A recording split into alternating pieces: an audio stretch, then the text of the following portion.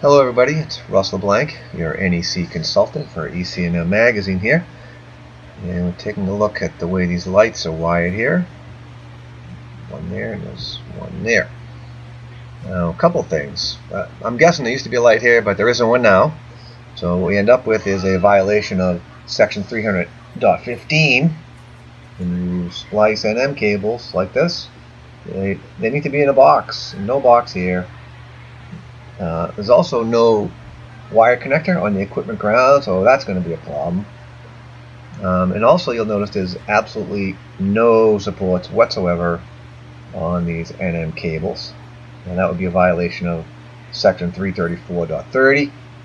NM cable has to be secured within 12 inches of each termination and then every four and a half feet. Right? We have no supports whatsoever here.